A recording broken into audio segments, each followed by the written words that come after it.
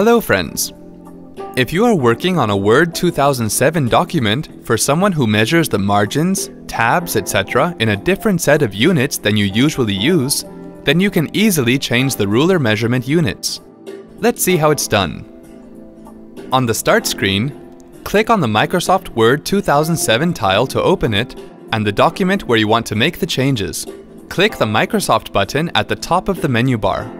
Click Word Options at the bottom of the menu bar. The Word Options dialog box displays. Click Advanced in the menu list on the left side of the dialog box. Scroll down to the Display section. Select an option from the Show Measurements in Units of drop-down list and click OK. Now you will see that the units of measurements on the ruler have changed as per your preference. Hope this was easy to follow. Thanks for watching.